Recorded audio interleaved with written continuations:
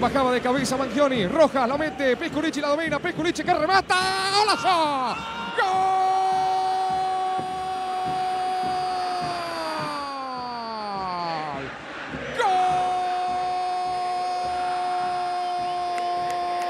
¡Gol de River! A los 12 minutos del primer tiempo en un partido estupendo, magnífico, brillante. Un zurdazo violento de Pisculici, gran control, mejor resolución del exjugador de Argentinos. Empata River que estaba cerca del empate. Ahora, ahora el clásico está buenísimo. Ahora el clásico está igualado. Ahora San Lorenzo 1.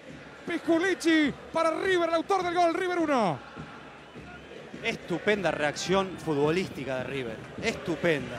La incidencia de Rojas que no se apresura. Primero Bangioni de cabeza destruye el armado defensivo de San Lorenzo y hace que los recorridos sean más lentos, porque advierte ese pase hacia Rojas que se desmarca en profundidad. Y